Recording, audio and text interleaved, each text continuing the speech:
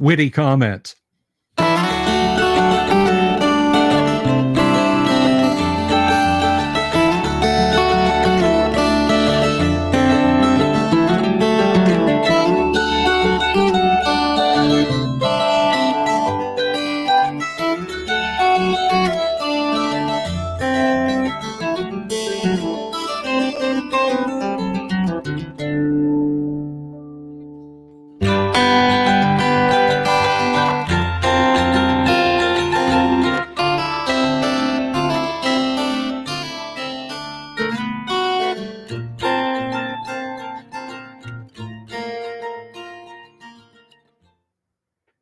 You guys? It's good to see you. It's good to be seen by you. Welcome back to the show, everyone.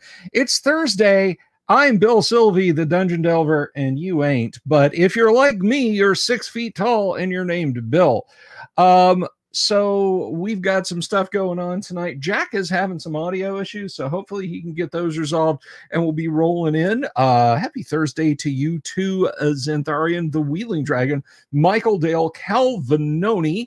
Uh, it's one of my favorite things to have at Italian restaurant, by the way. It's a nice uh, Calvinoni with some bolognese on it. Delicious. Anyway, um, Kabuki Kid, hello, you darling. How are you? Um, I think I said Mercury Wells already, and if I didn't, Mercury Wells, Tall Aaron, Timothy M. Holt's hanging out with us tonight, maybe, possibly. But anyway, I hope everyone is doing absolutely fine.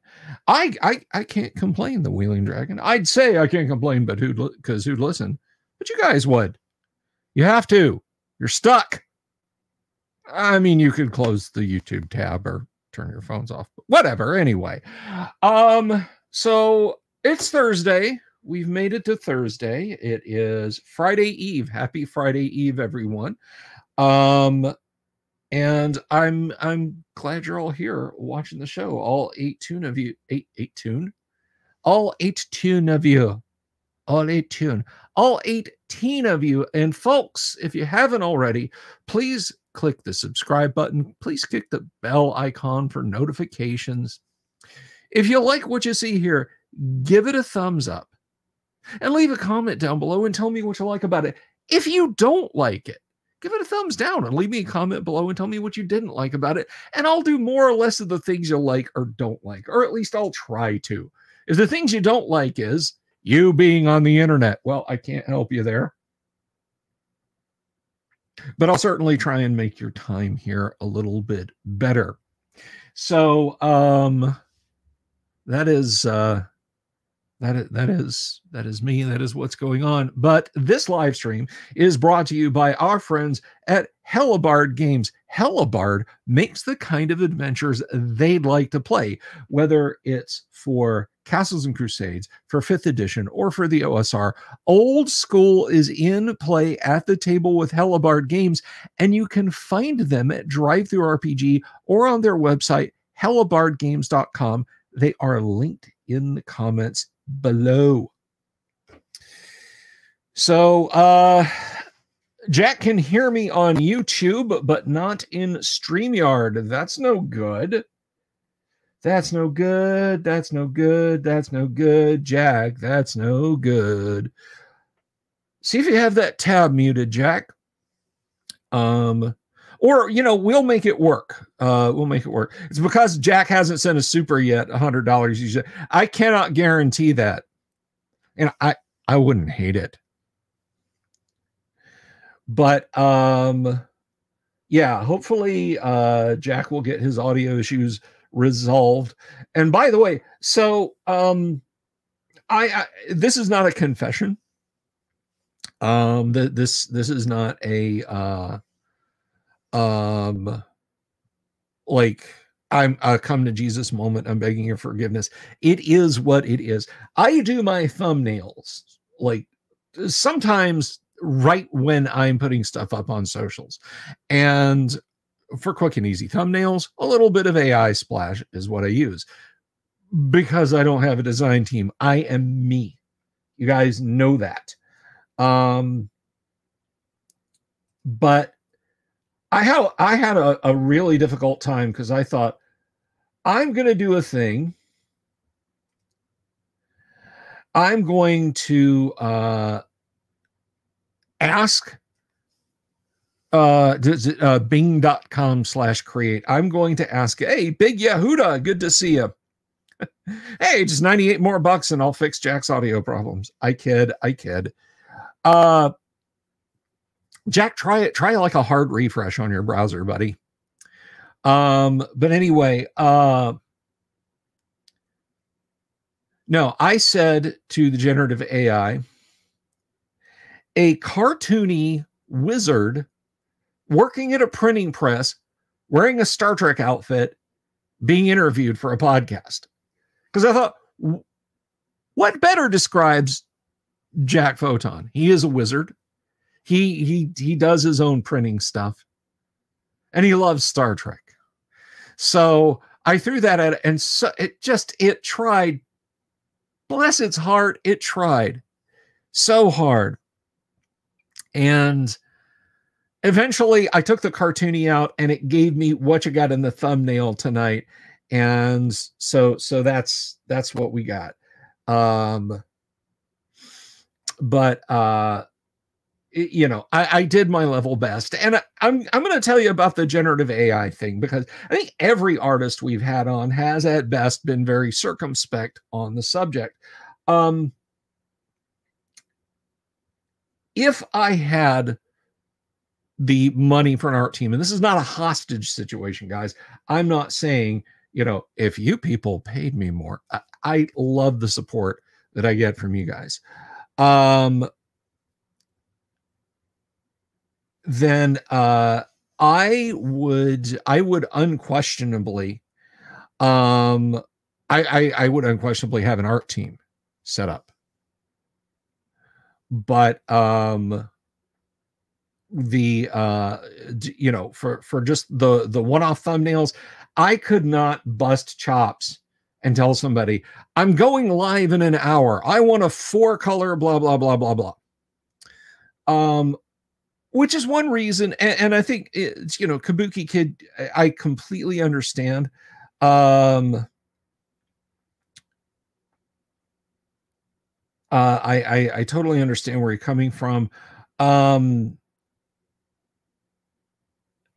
so that's why i tend to try and shy away from like not photorealistic. I think it blending photographic elements like it did with uh with the um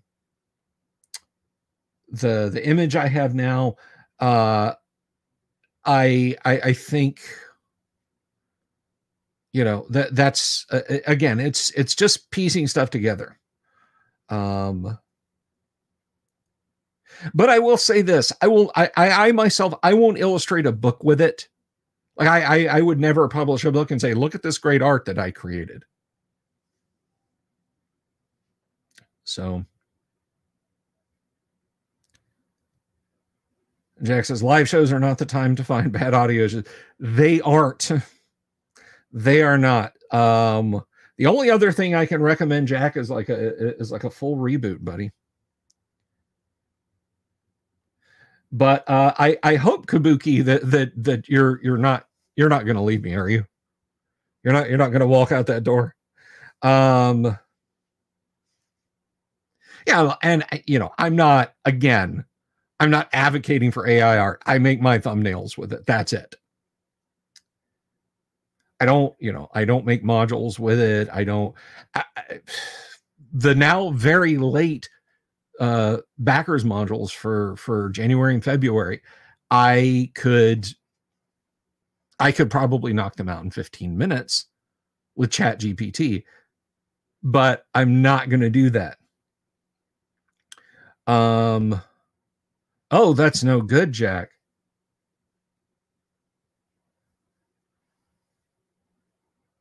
That's no good at all. Okay.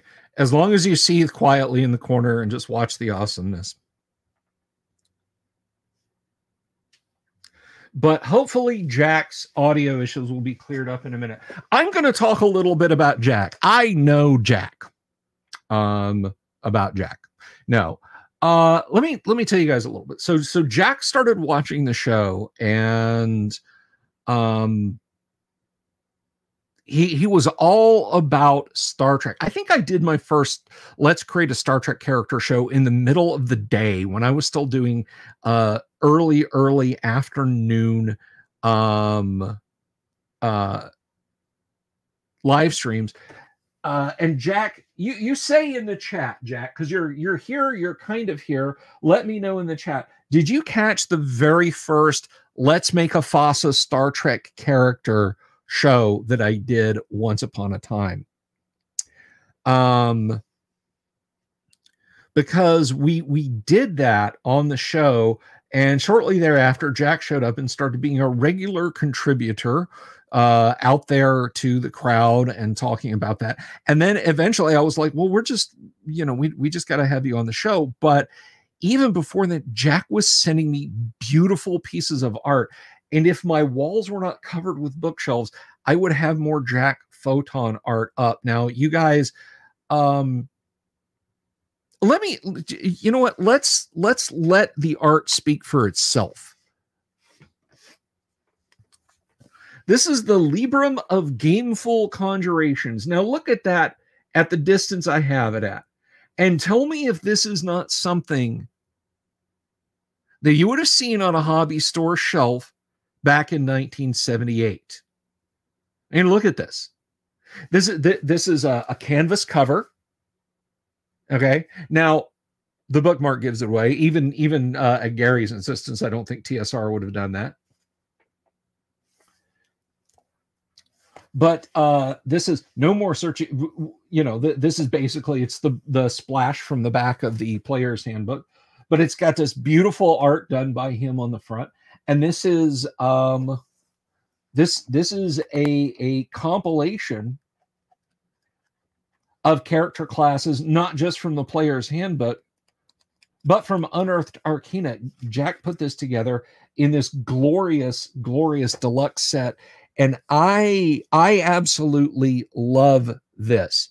Um all i can suggest jack is maybe just a cold reboot. Just take your pc or your mac or phone or whatever all the way down and bring it all the way back up. Or you could try to join us on your phone. Not call me on the phone, but rather uh, you know, join the the StreamYard on your phone. But this is an amazing book, and I gave away a few of these last year, and Jack will put these up for sale um on uh uh sometimes on eBay and there are PDFs of this available on the Internet Archive. And these these are awesome. This is what when we were kids and we used to make our own classes and our own little D&D books and we'd stick them in Mead folders and and write them in loose leaf notebooks and stuff. This is what we imagined our books could be someday. This is what we imagined uh that that that our stuff might look like. And this this is a hardback. That is just one of the amazing volumes that Jack has done. And again, if you want one of those and you're and you're just like, "Yeah, I'll email you someday, Bill, about getting it." That window is closed. That ship is sailed. Because I have a bunch to give away for Guac 3. There will be a Guac 3 drawing you must be in the audience on the live stream. You must be here. Uh, Daniel Rowan says, Photon me, we are fighting some audio issues. Jack will be here shortly. I hope. Um, but let me see. Where are. Oh gosh, I feel like that's right there on the bookshelf by my bed because I was looking at them the other night. Dang it. In anticipation of the show. There are other books that Jack has made. They're amazing. And when they become available, you've got to you've got to got to get them. Um so let me see. Oh, and lest I forget, the guy's not just about D&D. I mean, it says right there in his name, Jack Photon. Um, he has made an absolutely amazing set of Star Trek the role playing game books. This is FASA Star Trek, by the way. I'm just kind of grabbing one at random. Star Trek, a game for role playing adventures in the original series, as was back when. And this is a piece of the action, mostly shipboard living and planetary adventuring, mostly. So again, this is this is a high quality volume. It is loaded with art from the original series, from the cartoon. Um, which, by the way, I don't know about you guys. I absolutely, I absolutely consider uh, the Star Trek animated series as just season four of the original series. It is no more or less goofy than than uh, the original series. Okay, uh, m- make sure you are are logged out on your computer first, Jack. I liked the cartoon a lot. But anyway, this is the kind of stuff that that Jack gets up to. And it is it is amazing. I have where's my where's my FASA Star Trek box set? Here it is. So I inherited this. I inherited this from a dearly departed friend. May he rest in peace. And it was complete save for the star maps. A set of loose star maps from FASA costs more than a box. It's nuts. It's completely bonkers. So, yeah, I didn't have the maps. And I just casually mentioned this. Oh, it'd be nice to have the star maps. Jack sent me the star maps. He's just a great guy, okay? He's just a great guy and he's he's been a fan of and a supporter of this show. Vaughn will sing his praises from the the uh, highest heights. Um, the Librum of Gameful Conjurations, Exalted NPCs, and the Book of Finite Spells are all on eBay. Um, so yeah, yeah. If you if you can get your hands on uh Jack's books, then do so again, we're going to have a drawing and there's going to be Jack Photon art. There's going to be Jack Photon books up for grabs. And if you miss out, if I if I draw your name, if I call your name in the live stream, I you know, I can't do nothing for you. But what Jack is working on right now is um well, you know what? We're going to hope that Jack's going to be able to to to get logged in. Uh, we're going to wait for just a few more minutes. Um, Michael Dale says only 16 people are enjoying themselves so far, huh? Like, like, like. Thank you very much. So, um, yeah, we're we're gonna. I'm gonna I'm gonna figure out how to how to get names there. Um, Jack Photon I, I, see him coming in there. Hopefully, he'll do it. Anyone know where you can get uh, the AD&D Goldenrod player kit? Yes, I do. Daniel Rowan, I absolutely do. While we're waiting for Jack to to get uh, to get hooked up, I will get you that. Um, and this is really awesome because this is a fillable PDF, and then all you have to do is put Goldenrod paper through your printer of choice. But dig this.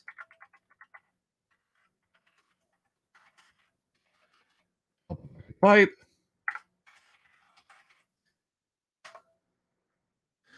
So let's see. I I am I'm gonna drop the link. Relax. So let's see. Oh, they also have Star Trek uh, FASA character sheets over there too. Um, but I'm going to send you guys. I'm going to share the um, the exact link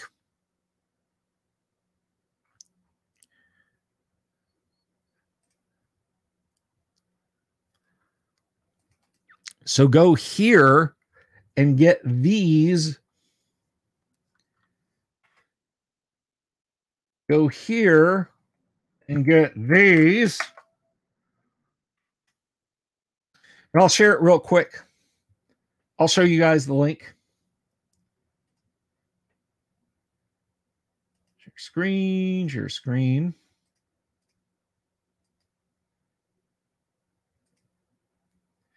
So there you go. You guys can see those are the goldenrod sheets right there.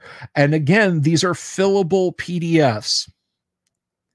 And even if you like the Ref 2 sheets better that have comeliness and so on and etc.,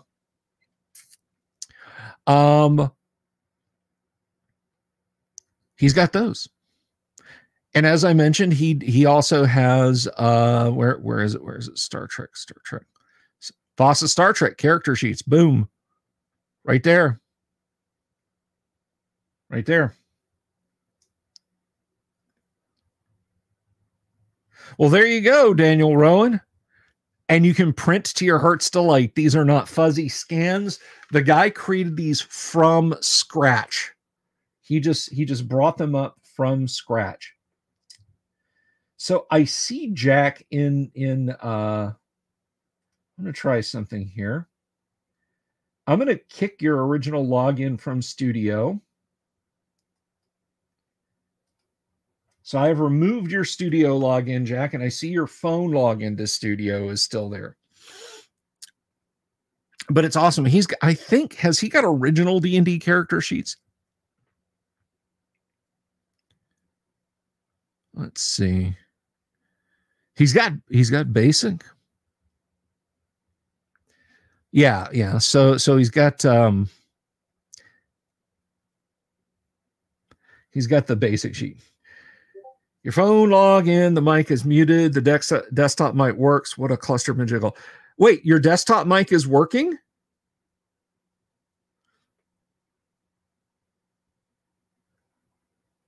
Well, okay, Volcano God, that sounds wonderful. you know where I am. Volcano God used to be proximate to me, but he's uh, well, he's not now. Um,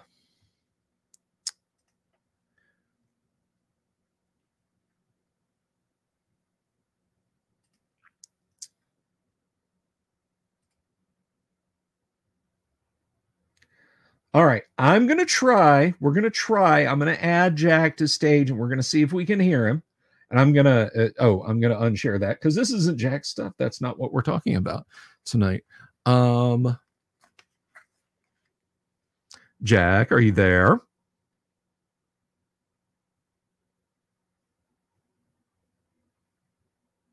I can hear no Jack.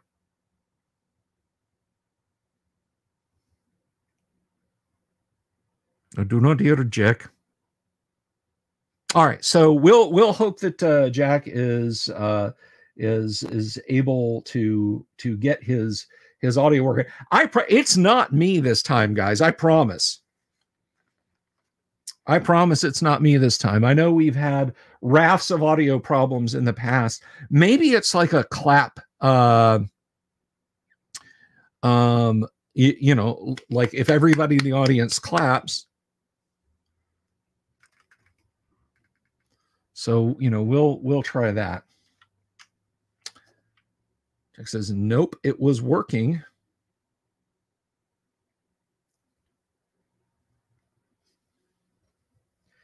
Uh, let me do this. Yes, I know. I don't want to ban him. I just wanted to remove that.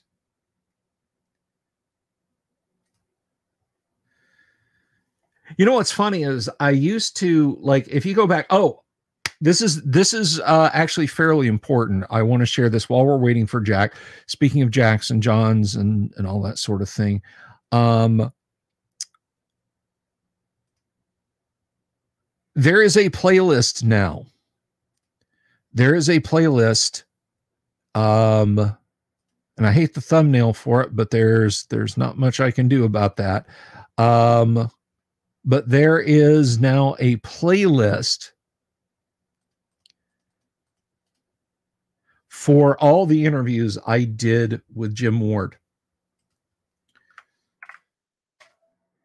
And there is the link. That is like seven hours of chatting with the late, great Jim Ward. I know listening to my live streams can be uh, an experience I will say three words where one would have worked. I have more pauses than a Pinter play. My voice is about as pleasant to listen to as your car's water pump going bad.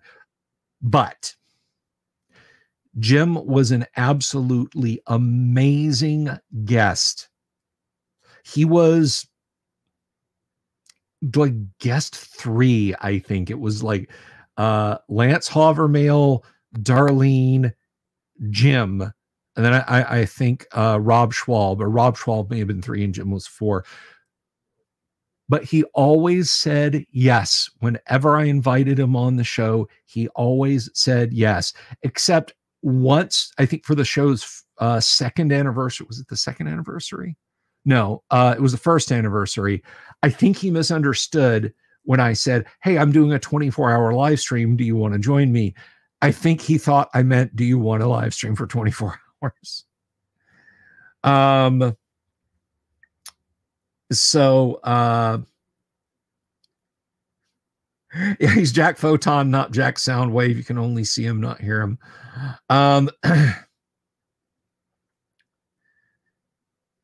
so Jim was absolutely awesome. And the thing about it is, I have a lot of interviews that I did that are buried deep on Facebook. You come and find me on YouTube, and you can find any video I've done on on just about any topic by searching my my YouTube channel. Look for keywords. Uh, Google will help you find it. the The video, despite the fact that I have 900 videos. Um, but you you can't like pull up a video on Facebook from years ago that Facebook didn't just randomly vomit up and recommend. Good luck. I'll wait for you here. Um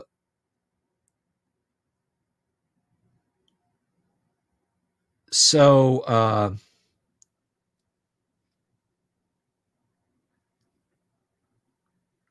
so we um you know we we do what we can if we're stuck on facebook but when i got over to youtube i found uh a tool called f down fdown.net if you want to download videos off of youtube you're like or off of uh off of uh, facebook like oh that's a really cool video or i made that video and i want it just use F down, just copy and paste the, the actual video URL into F down and download it. And that's what I did. And they're now available for you guys. Um, and I've got uh, all four of them are available for you guys to watch. And so I hope you enjoy them. Um, ah, we'll, we'll keep hoping. We'll keep hoping, Jack. You can't hear StreamYard. That is that is so strange. I I, do, I don't know why using using a Mac or a PC. it's quite the conundrum. So I'm doing my show, and I said to my buddy Jack, "You want to be on the show?" And he says to me, "Yeah."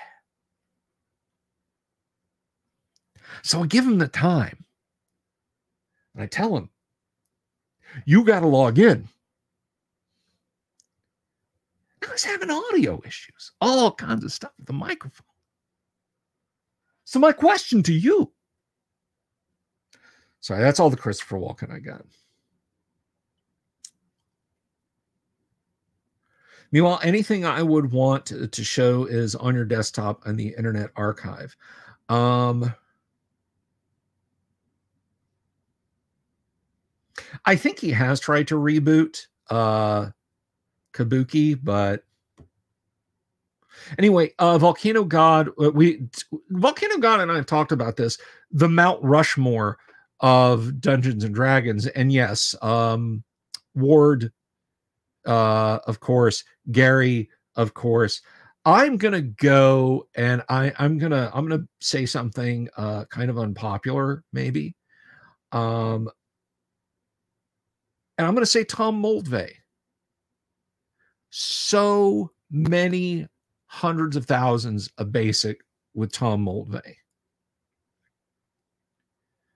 And then I think that said, my number four, I would have to probably put because we've already got Gary and Jim and Tom. I, you know, I'm gonna. I, hmm. I'm gonna get in trouble for this. I'm gonna get in trouble for this. Uh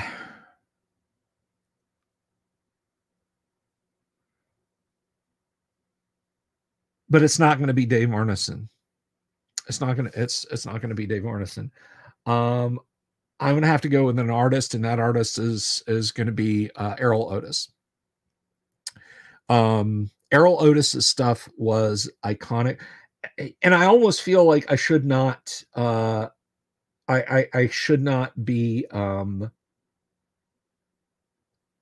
listing an artist. Like there should be an artist, a D&D artist Mount Rushmore. In fact, let's do that. Let's take Erol and put him over on the D&D artist Mount Rushmore.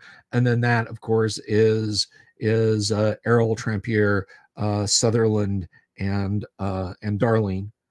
Um, but a a uh, the fourth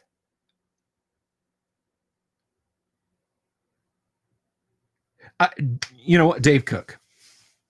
Dave cook. That's what i'll go with. I will go with dave cook. Um because dave cook worked on moldvay basic with tom moldvay and did a lot of the the lifting on expert. So that that is it. That is it. Uh, yeah, I mean, uh, Mount Rushmore is a top four, Daniel. So, I, I mean, if I'm to name, I, I'm going to say every artist that worked on Dungeons and Dragons all the way to the end of second edition. Yeah. With a couple of exceptions. Uh, so, do you guys remember back in the fall when my dear friends at Gods and Monsters gave me the stack. Well, there was a first edition, or rather, there was a there was a, a second edition Monster Man or a, a second edition Player's Handbook and a second edition Dungeon Master's Guide, and there is a lot like the Dungeon Master's Guide, and maybe the Player's Handbook um, but the Dungeon Master's Guide has color plates in it by by Elmore and Caldwell, and they are just mwah. Um, but there's a couple of like blue and white stylized drawings that are bad. They're just not good. Uh, now, Tim, I've already told you uh, over over on Twitter. We've already talked about the uh, the the Dungeons and Dragons traveling Wilburys, my friend. I saw I I actually saw your um your uh, your your link, Michael, um over uh over on um Twitter about that. Those, those were those were really cool.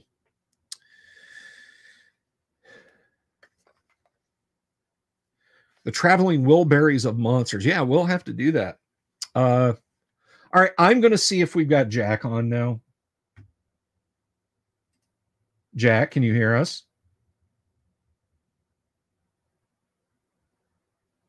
Hmm.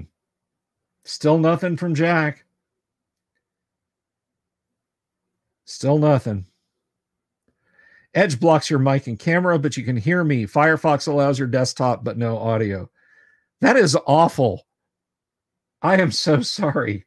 See, I, am I'm, I'm using Microsoft Edge right now for the for the whole experience, Jack, and uh, we're um, you know, uh, it's it's five by five here. Uh, so maybe if I mute you and then unmute you,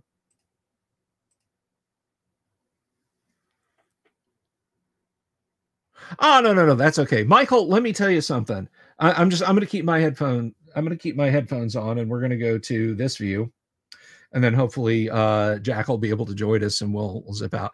Um, but uh I've said before, Twitter, uh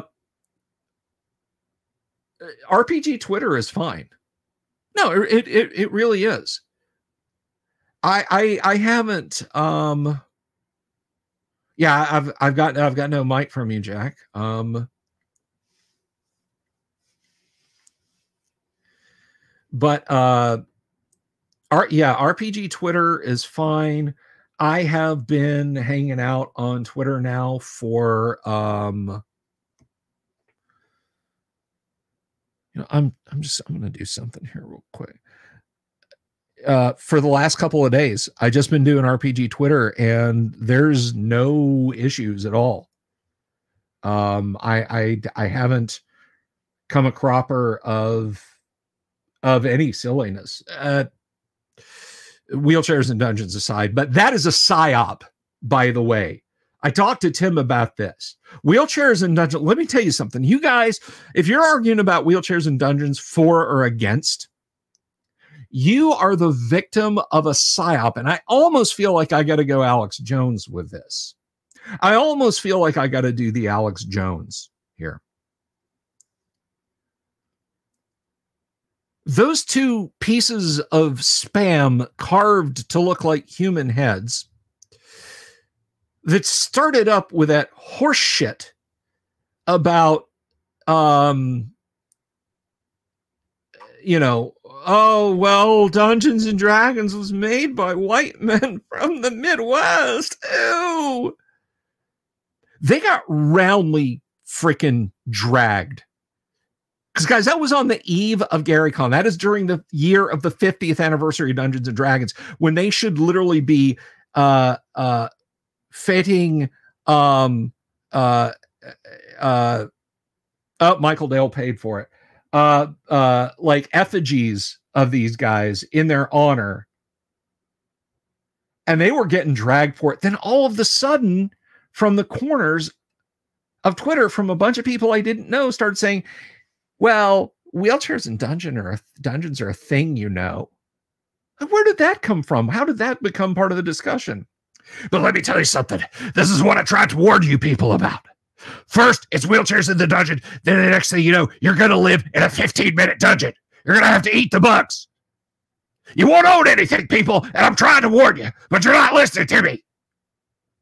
They're going to make you eat the bugs. You're going to have to live in a WEF controlled dungeon. You'll only be able to adventure when they want you to adventure. You won't own your own horses. The paladin won't get his own war horse. That'll belong to the state. Everybody will only level up when the state says you can level up. We're almost there, people. I'm trying to warn you, but you, you're not listening to me.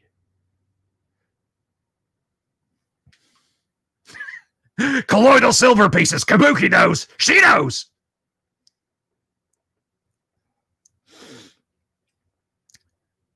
So yeah, um, monetization sad horn. Yeah, you guys had I you know I started uh, talking about Alex Jones and doing an impression, so you guys are gonna have to super me now uh, to save this video. But um, no, it's a psyop.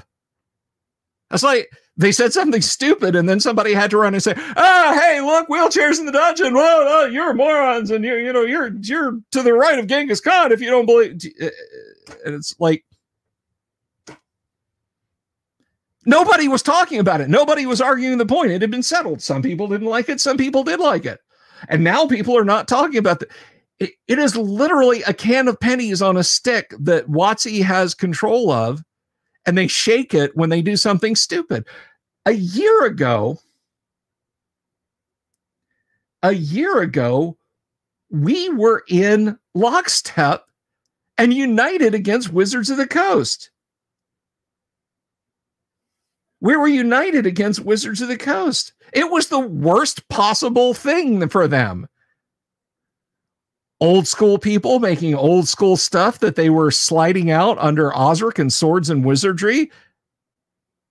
And people making brand new stuff for fifth edition with all the toppings. We we were we were ready to go to war. 20,000 hardcore members. Can you dig it? And we got distracted by something shiny. And as a result, as a result, um, they they got the initiative back. It took them a long time and God knows they kept screwing up a lot. I mean, you know, I do, go watch the go watch the videos I did. Go watch all the videos I did of all the mistakes they made.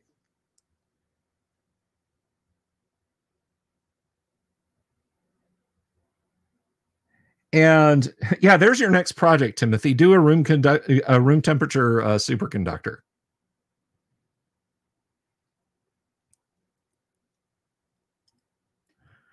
Um. Yeah, I'm I'm sorry, Jack. I don't know. I don't know what's going on. It's like nothing in Voicemeeter. Nothing in Voicemeeter is wonky. So.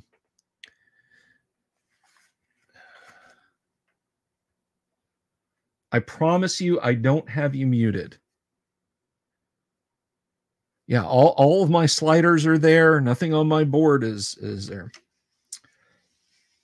Hey, Kabuki, fusion is coming. In 10 years, we're going to have sustained fusion, okay?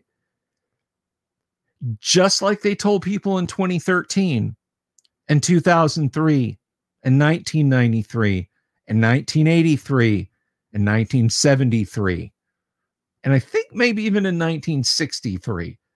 Sustainable fusion is just 10 years away. The Moller flying car of uh, of of um of uh, energy projects. But um I will say, and I think this was I am hath sent me. Thank you, Volcano God, for the super.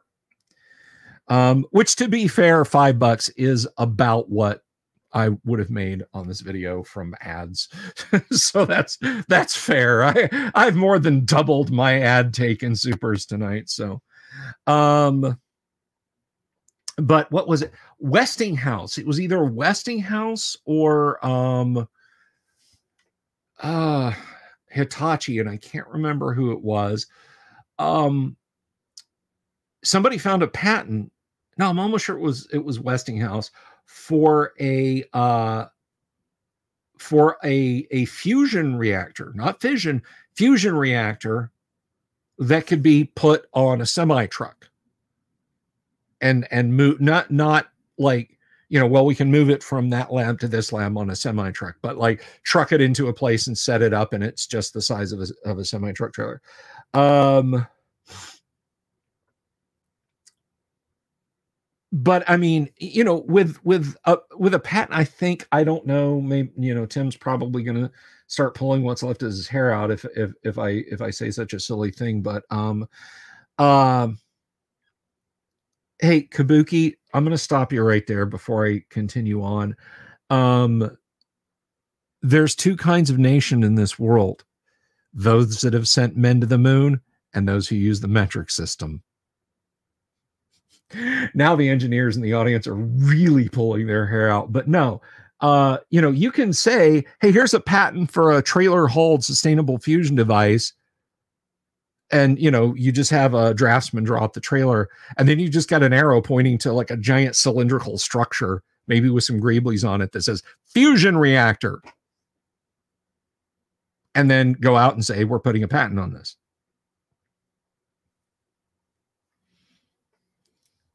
i know they used metric kabuki and they also used imperial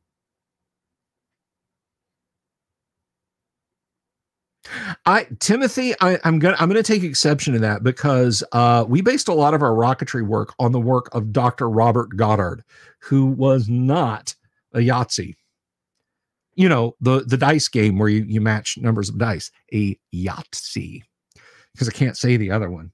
That is demonetization demonetization bill. But anyway, um, moving right along from from uh, things that can get me smacked. Um, a moment. Did I just? Nah, I was just checking to see if I could hear Jack.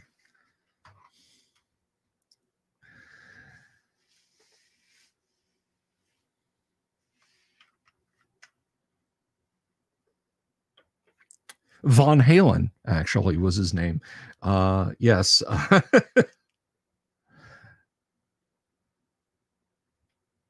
I'm sorry, Jack. I mean, I I promise it's it's not it's it's not something it, it's it's not anything it's not anything I'm doing, and I don't think it's anything uh that that that that you yourself are doing. I just I just think Windows has got you has has got you messed up. You know what? I'm gonna okay.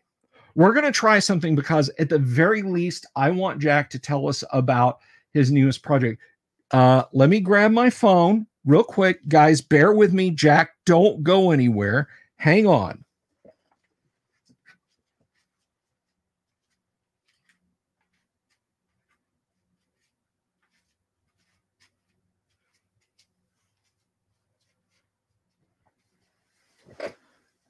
Jack, I'm going to call you on the phone. And I'm going to put you on speaker and hopefully we can talk for at least a few minutes.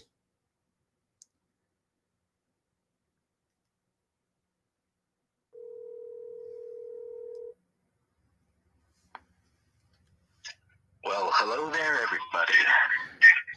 All right. Uh, you, you got to uh, lower your audio. We're going to get some horrendous feedback, Jack. Yeah, I'll just uh, walk away from that computer there and hang out over here on the other side of the room. All right, everybody. Uh, is it, it are are we all hearing Mr. Photon? You guys out there in the audience, let me know. Yeah. Hey, one, two, three, four, five. Star Trek, Dungeons and Dragons. What else is there?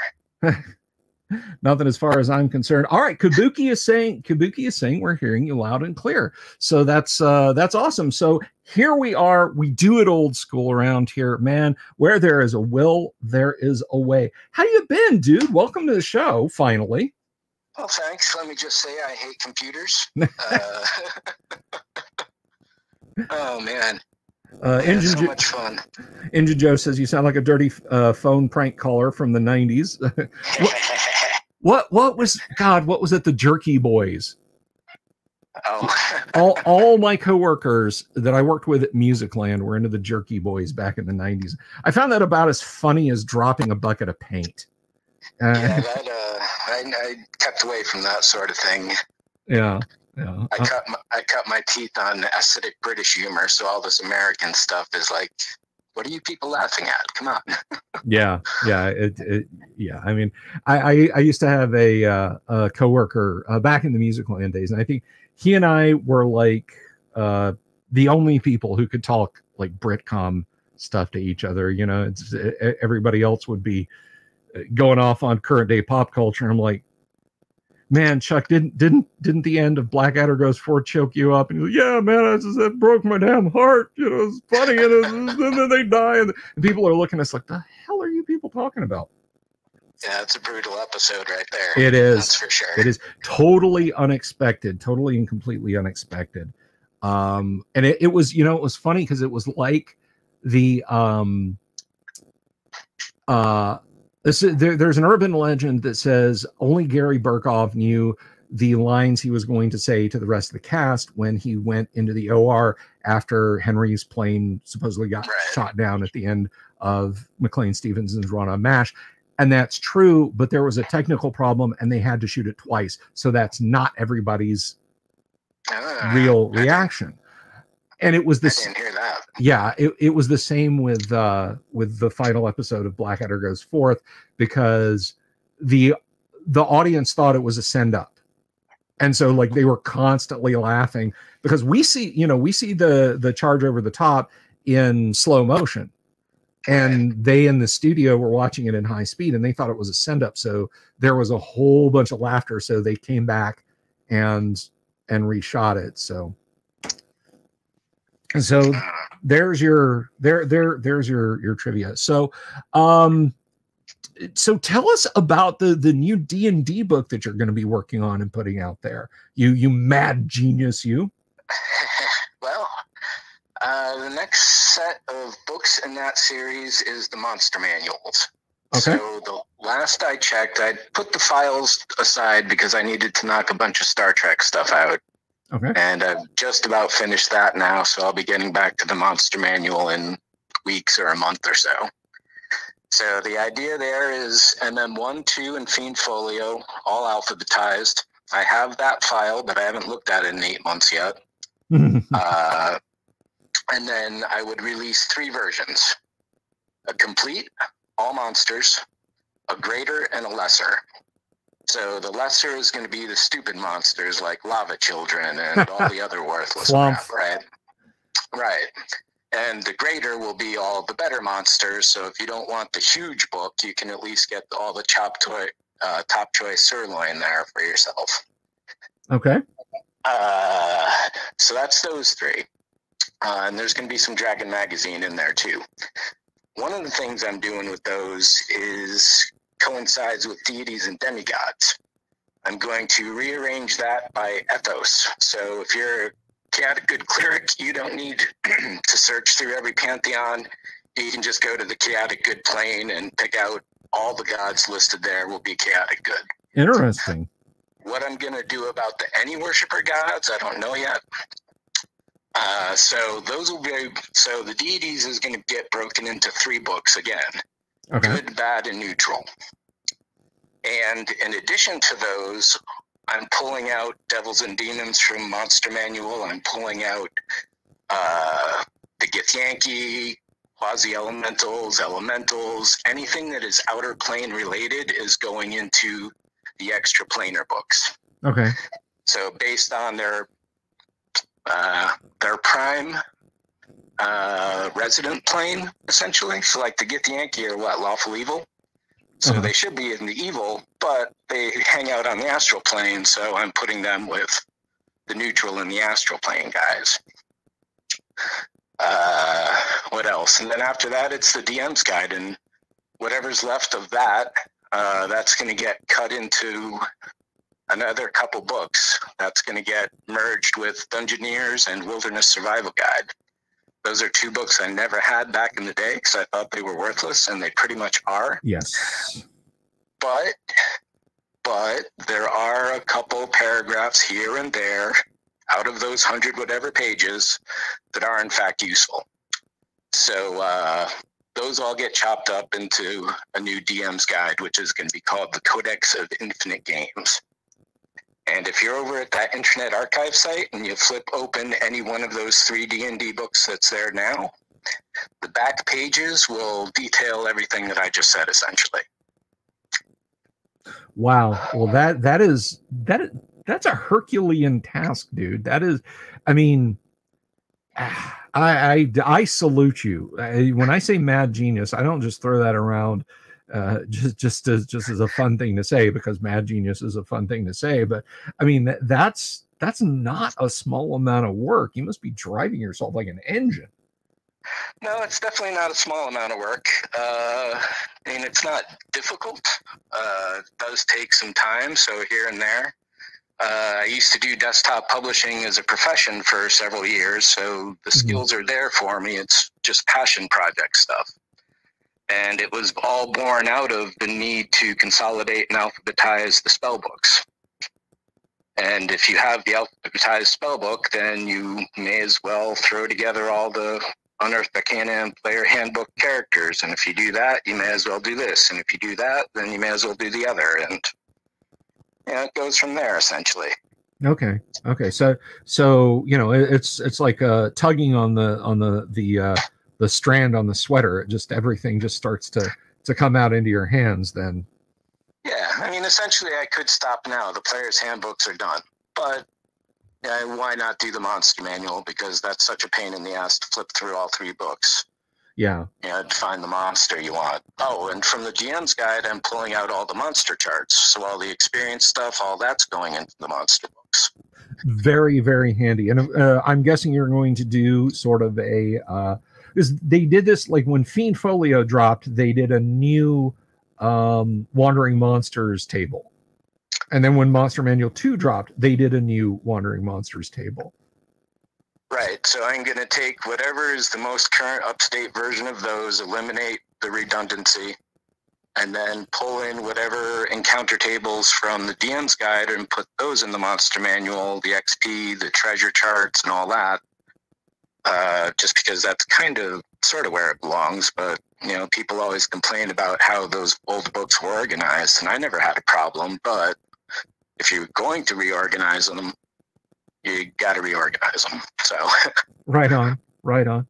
Well, that is uh, that that that sounds like a fantastic task and something I'm curious about when you talk about um, tucking into deities and demigods. Of course, uh, and I, I mentioned this to you and of course to the audience because uh, when it when it comes to the the topic of abandonware, I am I am very much a proponent of uh, you know look if you leave your car on the on the shoulder of the public highway you know and you and you just leave it there for 20 years don't bitch when you come back and it's up on blocks right um and when it when it comes when when you you talk about uh abandonware in terms of d&d i definitely think that things like the super duper ultra hyper rare uh, modules that not even Wizards of the Coast has copies of in their vaults anymore, or the unexpurgated deities and demigods both fall under that same purview.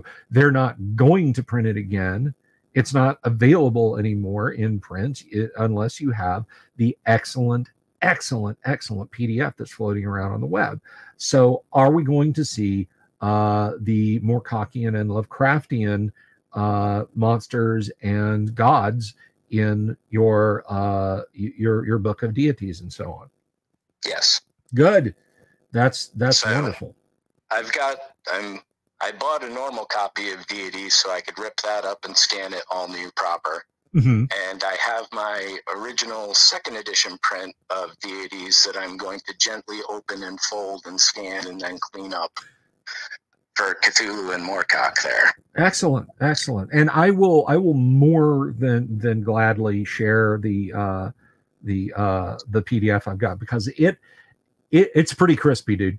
It is yeah. if, if if you don't if you don't have that PDF, it is uh somebody either did some insane job of retypesetting uh a deities and demigods or they sacrificed one. They just said, look, you know, this thing is destroyed on the outside or whatever, because this is not like, yeah, I held it down really hard on my UMAX scanner.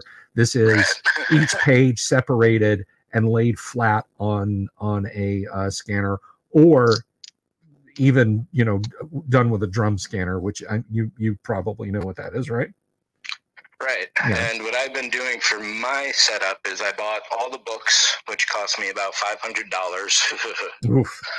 and uh, I've been razor blading all the uh, spines, scanning each page, cleaning each one by hand, mm-hmm. and then bringing them into the layout from there. So they're all going in at 600 DPI. Nice. And then there is some cleaning damage as far as the procedural aspects go, mm-hmm. and I could go in and do every single dust hit, but procedural methods, you know, they, they work a little faster.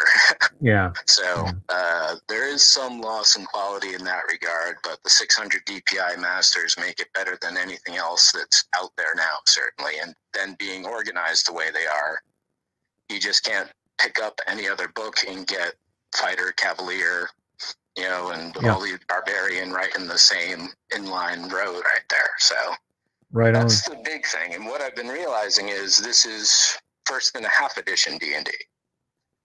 Right? right. So first edition D and D is the first three books and essentially maybe deities.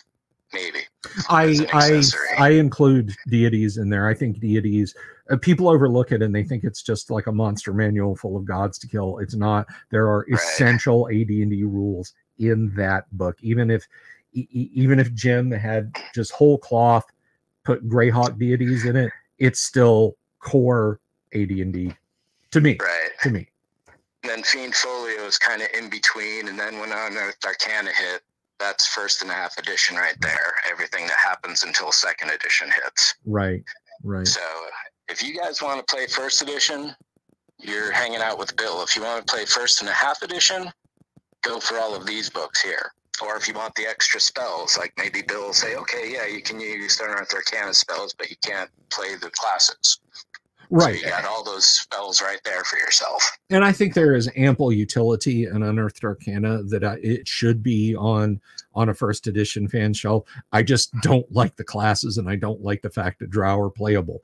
Um, but but stuff like uh, they're so because you go through the classic. You know, I, I've got like the the Led Zeppelin album, uh, Led Zeppelin discography of classic AD&D modules, but there's so many times when you know guys like, uh, you know, Hammack and Cook and and uh, you know whoever was writing modules, you know, Tom Moldvay or uh, you know Skip Williams, whoever.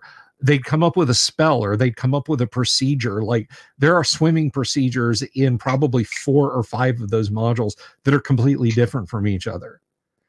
And uh like G1 uh or G123 I can't remember if it's in if it's in the uh, pastel G1 but uh G123 has the spell uh crystal brittle in it. Gary came up with that.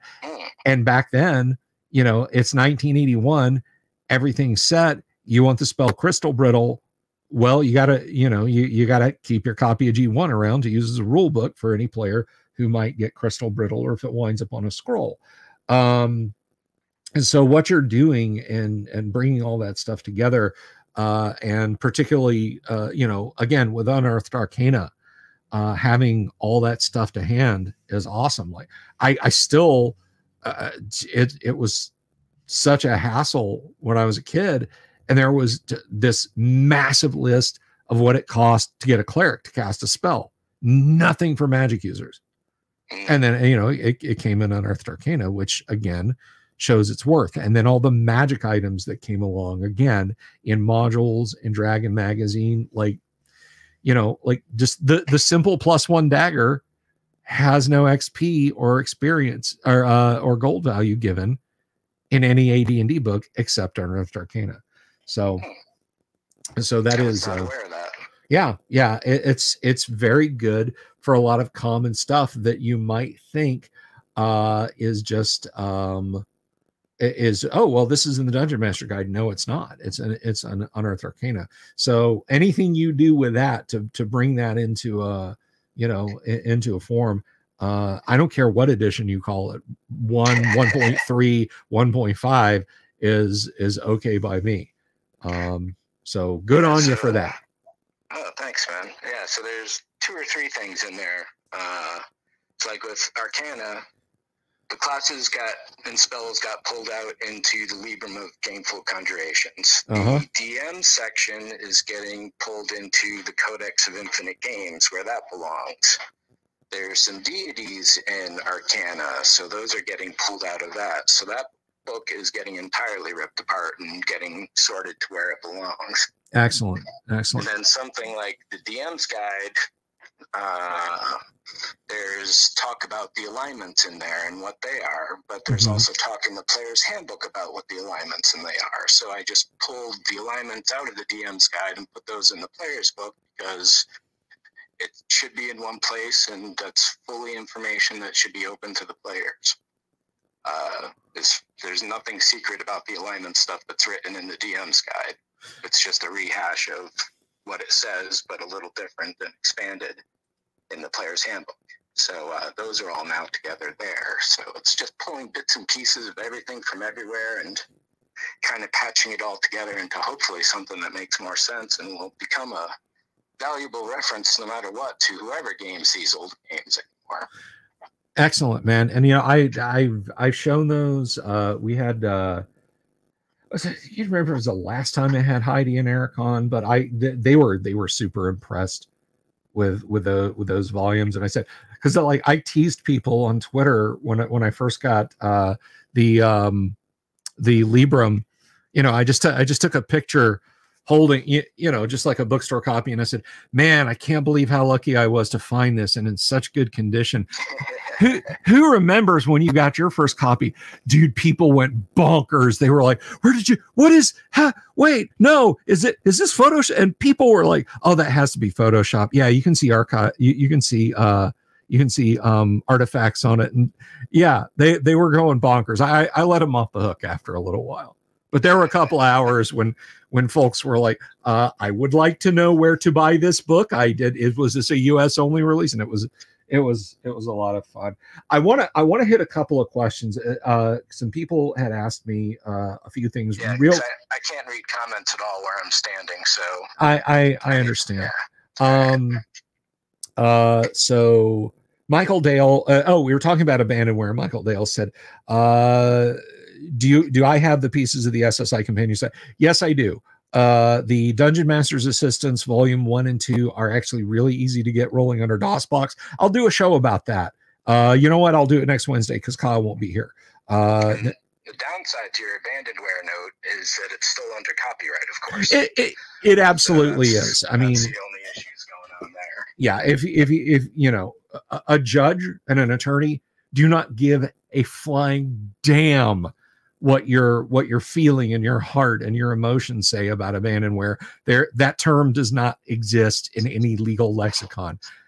So folks out there if you're thinking well bill said abandonware was okay to pirate. No i didn't. You, you are you are taking any legal risk on yourself. Um, but uh, michael dale i will do a uh, video about uh, about the software. Now as far as the gold box games the ssi gold box games um, audience. Those are available on good old games on GOG. Um, it's like 5.99 for all 12 games or something insane and they come pre-packaged and they'll run on a modern pc at the appropriate speed. Uh, so avail yourself of those. They're great games. Um, kabuki asked me are the ssi programs written in basic? I know for the commodore 64 a lot of routines were written in basic but a whole bunch of it was written in ASM, was written in uh, Commodore 64 assembler that loads after basic stuff runs. Like like the basic is running the assembler code in the background underneath the basic. It was wild the things they had to do back then. And finally, Kabuki asked, "Where's my physical graffiti vinyl? It's on the shelf over there." Uh, so fear not. I, I I treated myself. I, have Have you bought any new vinyl? Are you a vinyl guy uh, at all, Jack? Uh, no, not in uh, I don't know how long now, decades I suppose it would be. I think my last vinyl was Rush Counterparts, actually. Well, that that is that is a fine, fine piece of vinyl to own. Um, uh, yeah, I, I I swung by the mall yesterday to pick up an order from my wife, and um, there there there is a rec- uh, uh, FYE For Your Entertainment. It's a media store, you know. They they sell Funkos and anime dolls and stuff like that, but they also uh, they sell records and CDs and and DVDs, and they they had a pretty full selection of good records. And I looked under L, and they had the entire Led Zeppelin catalog. So I treated myself and I bought a copy of Physical Graffiti on vinyl. And as I said to the young lady who rang me up, the last time I was in this mall and bought a record, uh, well, let's just say the price I'm paying for this one today, I could have gone home with five back then. so, um, but anyway, so so let's uh let's see here. Any any comments? Um are the Suel and Flan pantheons going to be included? So are we getting Greyhawk deities in your in your deities book, Jack? Yes, the Greyhawk gods will go in there definitely. Uh, well, there you go. Um, and, be a separate book of heroes. I'm not sure yet because I suppose that's where all the Moorcock stuff would mostly go. Or uh, King Arthur would need to be a hero. Gilgamesh, uh, right? Has a couple heroes in there, I guess. So I may have to separate those out as well. Right, but, uh, right on. All the, Greyhawk, all the Greyhawk guys will be there definitely by alignment.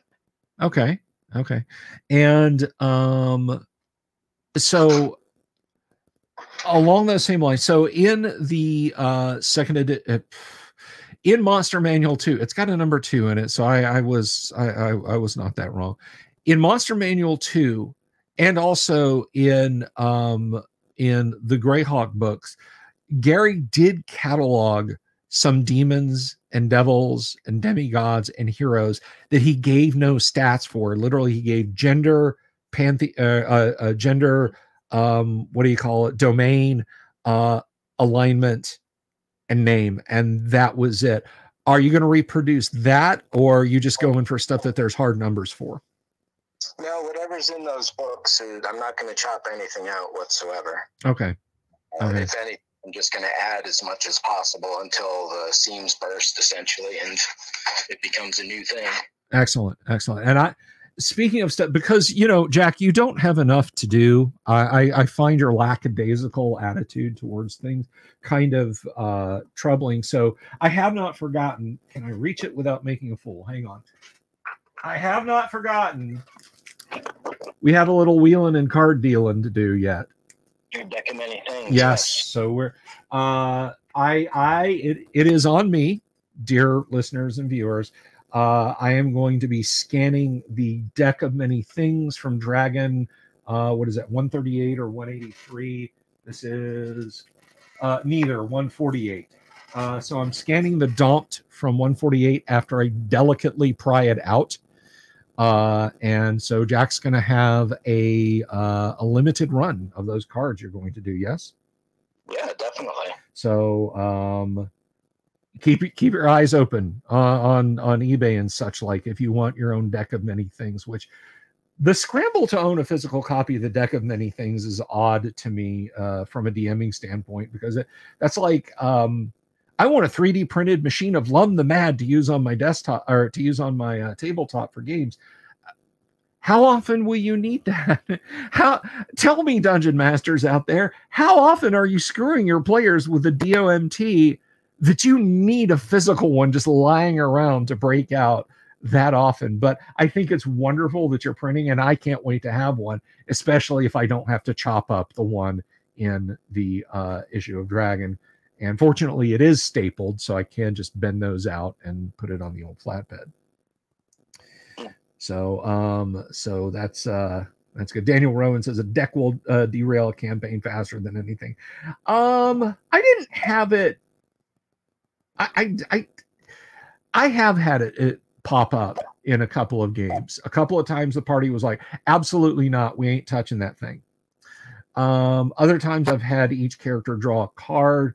Only one character got completely screwed. Uh, he wound up with the void, and uh, his body was still alive. Uh, the party put it in a sanitarium in uh, in uh, Greyhawk, and said, "Well, we'll try and find his soul someday." And I said to myself, "I'm going to say his soul was transported into a computer bank on the Starship Warden."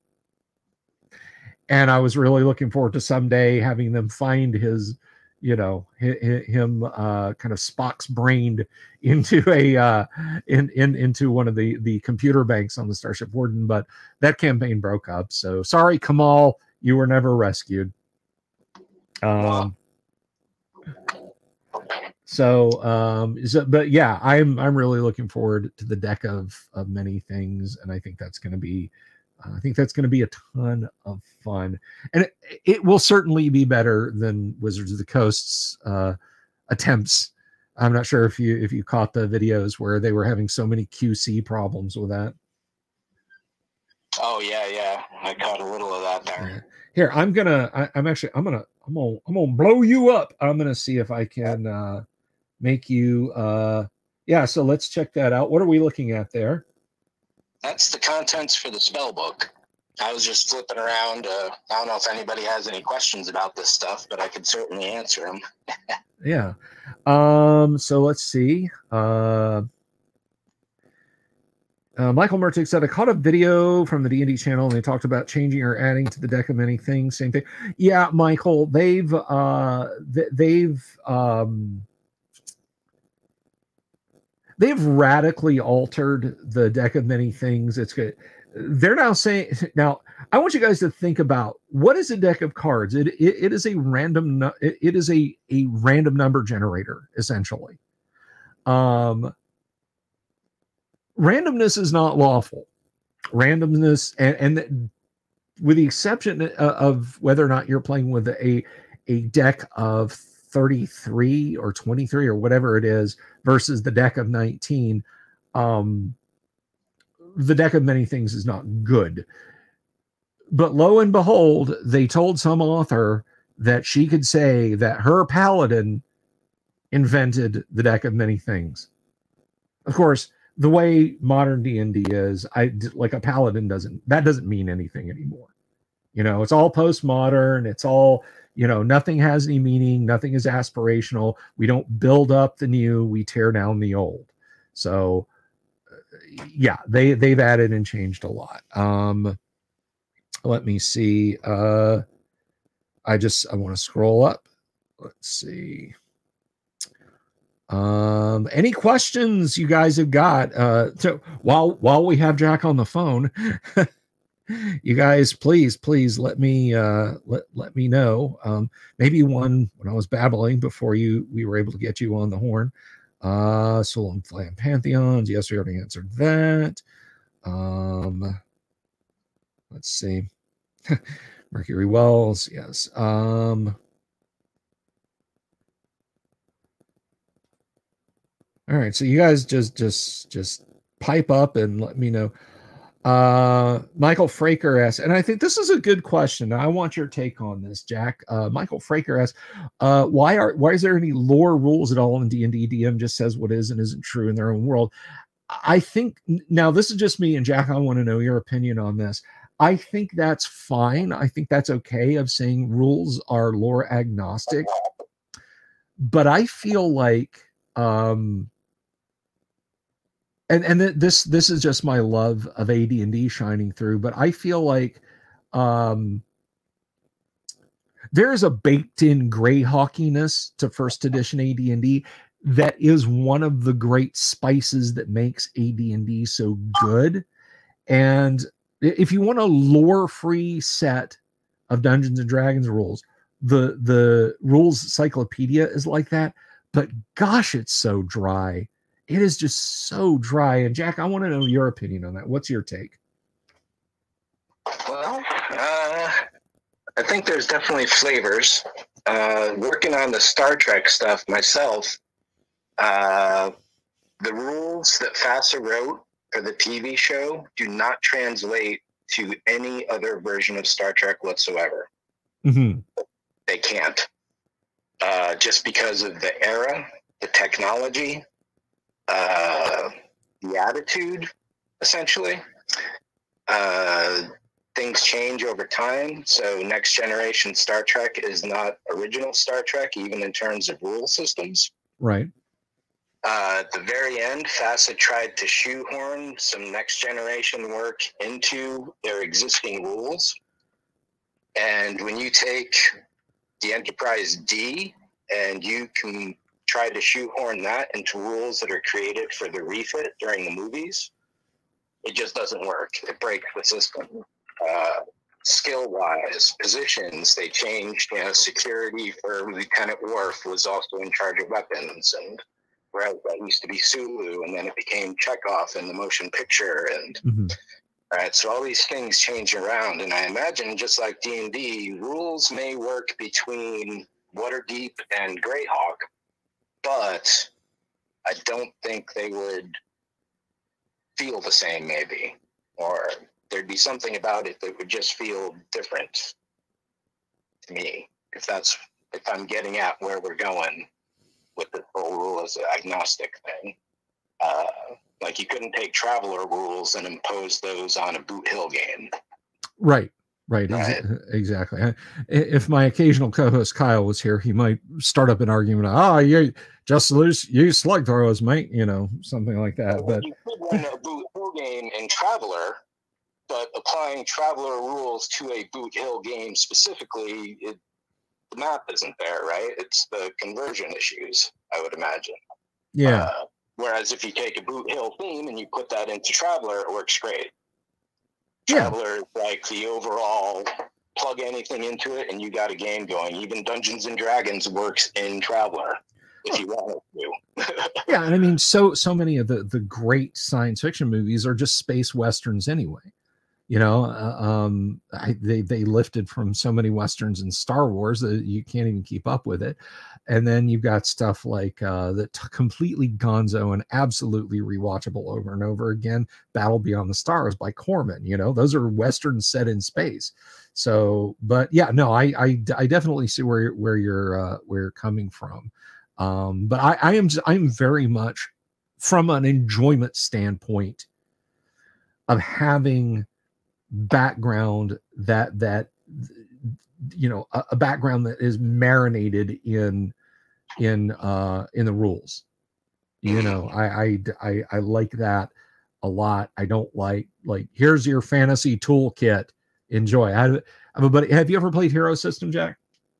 No, yeah it remember it, but no. yeah it is a pure points buy system and a buddy of mine uh, love you to pieces jeff but jeff was uh, a hero system evangelist and it was like getting cornered by an amway salesman you know just just constant you know I- oh but you can do anything look look uh you buy a 1d6 uh armor piercing hand killing attack and you add your strength and wait where are you going you know and I- i'm just like i, I don't i don't want to i don't want to talk about this um Is that what GURPS was supposed to be? yeah generic, yeah, essentially. I never I- got into that either, but I knew it tangentially.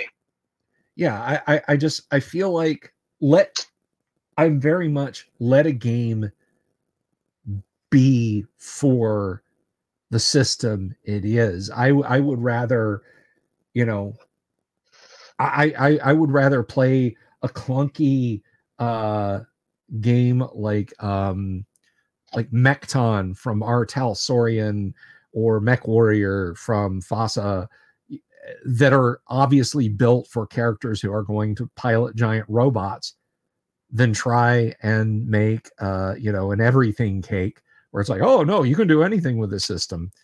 Because you know how it goes uh you know uh you know jack of all trades no pun intended master master of absolutely none. And if by having a game that is so masterful means that the flavor goes into it too then so be it. That's just my attitude. That's that's that's just my my my hot take on it. Hmm, Yeah, sounds good to me. so um so once we have the rule books and the the the the deck of many things and a project i want to just we're not i don't want to talk about this top secret. You guys don't have clearance out there in the audience. Um but what is your next big serious project after these jack? Um or do, or do you have your sights set on anything? Well, there's always hobbies, right? Uh, right. The main reason I got back into doing this is because I wanted to run Star Trek games again back around 2020. And if I was going to do that, I needed to clean up the FASA system.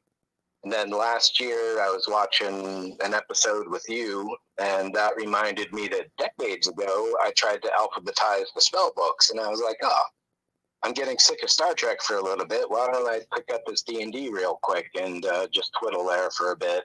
And all of a sudden, there's a whole new project on my desk that I couldn't have imagined before.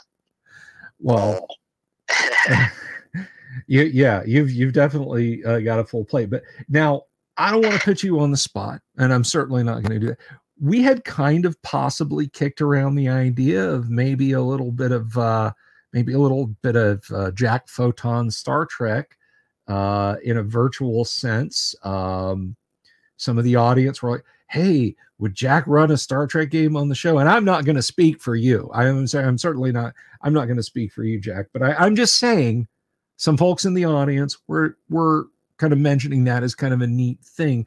Um, would would you would you maybe come and run a guest game of Star Trek for us, perhaps in the future? Yeah, I'd say how about later in the year when you got a Gamma World break going on, or there's you don't do traveller on Wednesdays anymore, but uh, we'll say Sci-Fi Fridays. Uh, yeah, if you gotta want to take a break for several weeks, I figure week one we can go over the rules because they really need to be gotten into. Week two, we'd all roll up characters so that everybody could see the process and go through it with us all and start the game if we can. And then week three would be the majority of the game, and week four is cleanup. if that sounds reasonable to you guys.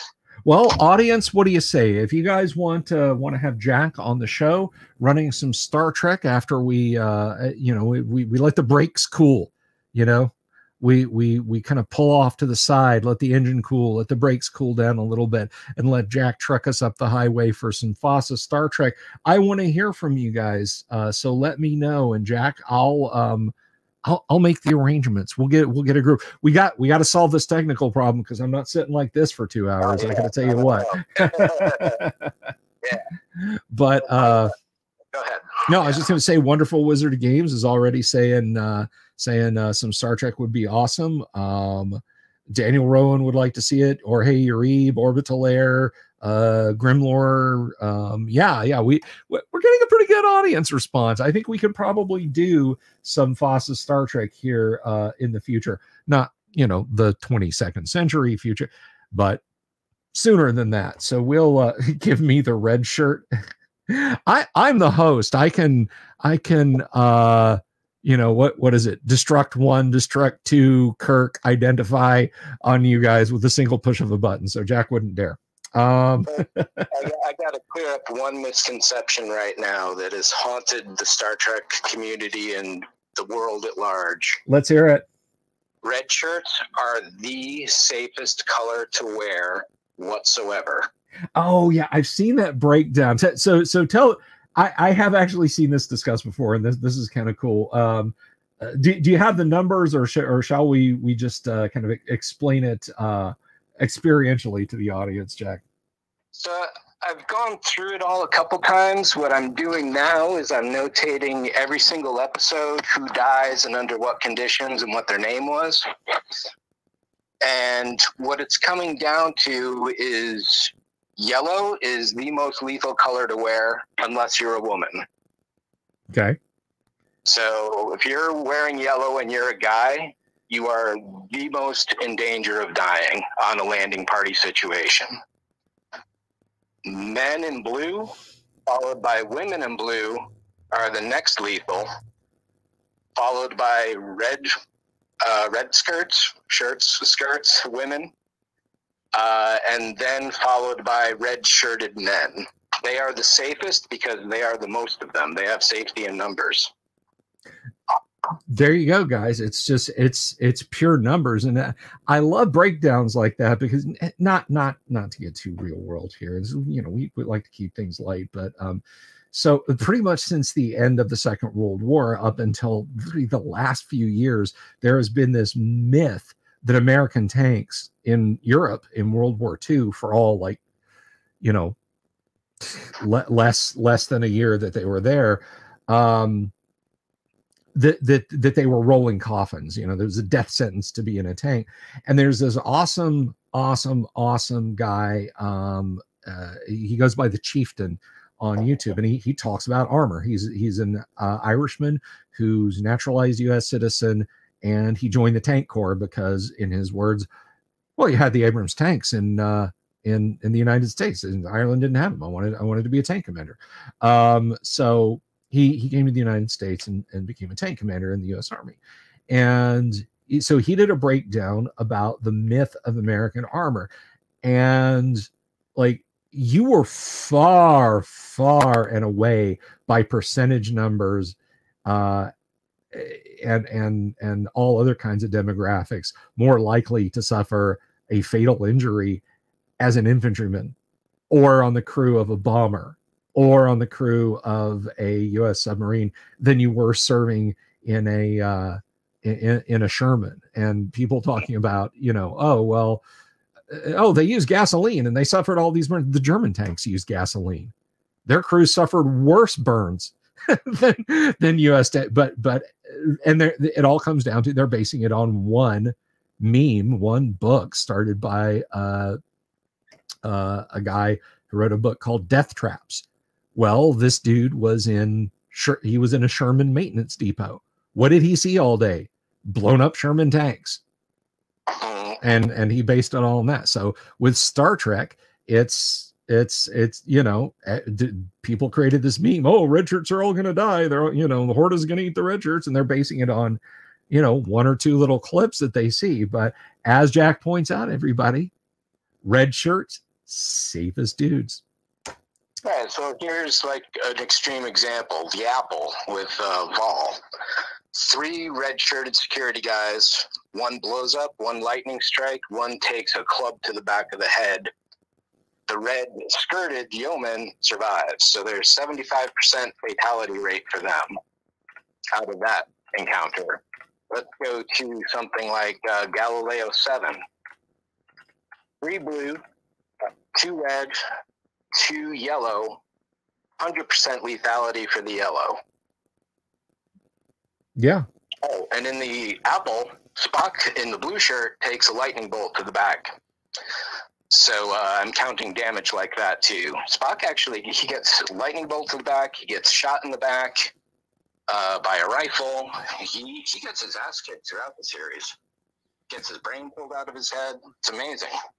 yeah, yeah. No, no, no. It's it's uh, you're you're you're absolutely right. And uh, also there there's a. Uh, there's a side thread growing in the in the comments where people are talking about imperial stormtroopers look guys imperial stormtroopers were ordered to not shoot at so they could escape. So they could escape. Can you imagine being the guy? Darth vader would straight up choke a fleet admiral for for bad mouthing him. Can you imagine being the stormtrooper who accidentally shot Han and Luke? right?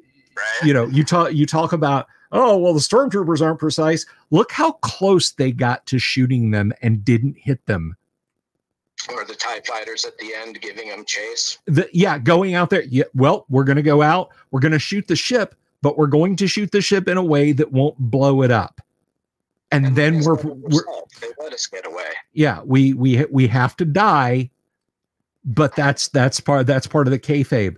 No stormtroopers are not bad shots and red shirts are not just disposable uh disposable characters. That yes haha funny memes that ain't true that ain't and that's not like extended universe or star trek novel stuff.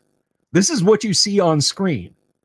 Th- this this is what is actually on screen so. You'd think being 1960, the women might be safe, but no, several of them get uh, they get the axe too. It's amazing.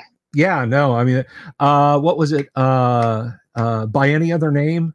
Um when they when they meet the the andromedans and uh dude turns two trek crew members into uh into the the the cubes. yeah he he cru- he crushes one. That was the woman that got pulped.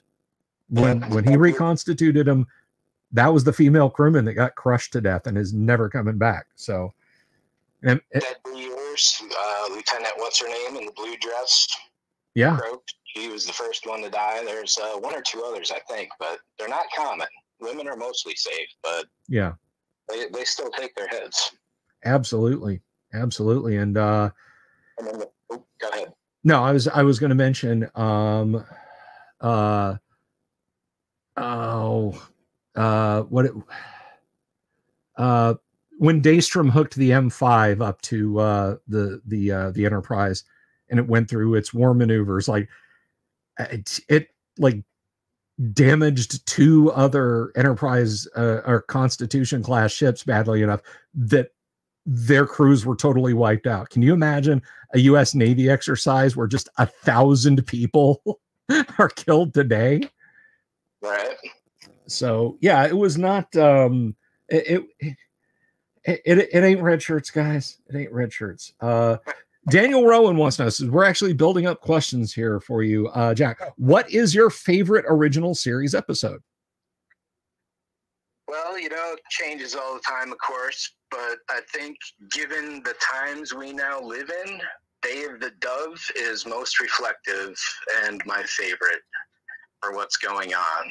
We seem to have some kind of evil psionic monster that's perpetrating a lot of evil between otherwise good people all across the world.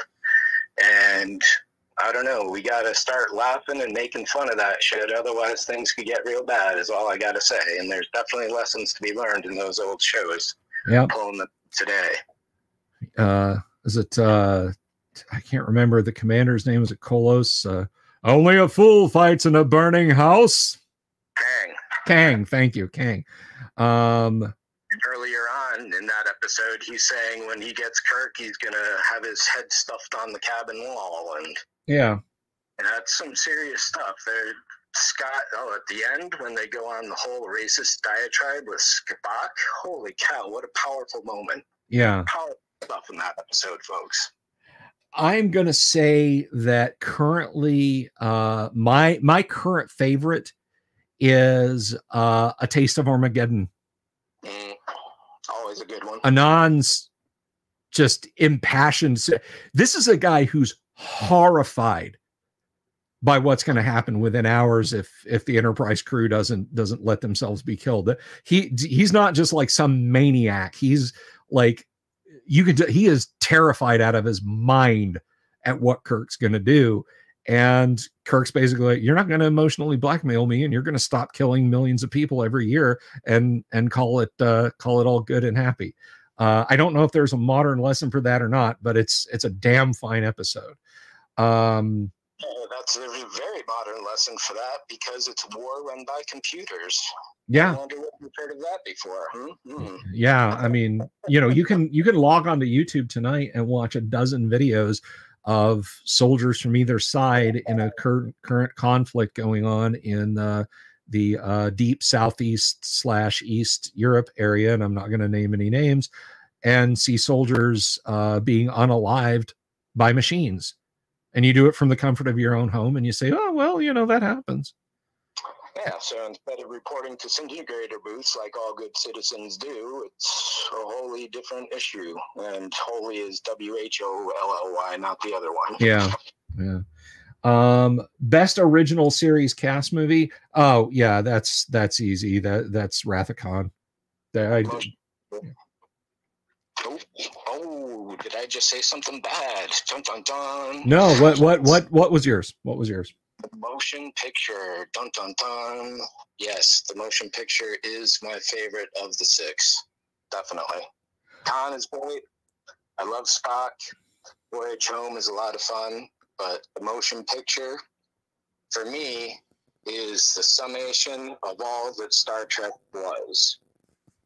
The search, the crisis, the impending doom, the beyond imagination alien life form that ultimately turns out to be us. Pure Star Trek right there.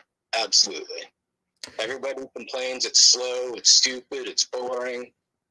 No, no, no, no. Not for me. I like it. In in fact, in order, I tend to go uh um Khan Undiscovered motion picture, um, and then the rest. Uh, but um, I so I think motion picture is awesome, and I think you're right. If motion picture had been a two-parter in the original series, because the you know I get I don't I, maybe it's because of what two and then subsequent episodes did or subsequent films did tonally by taking right. it taking it from you know i am your captain you are my crew i give orders you obey um which is how a lot of the early original series was. But when we picked it up with two it was we're we are a space family and we love each other.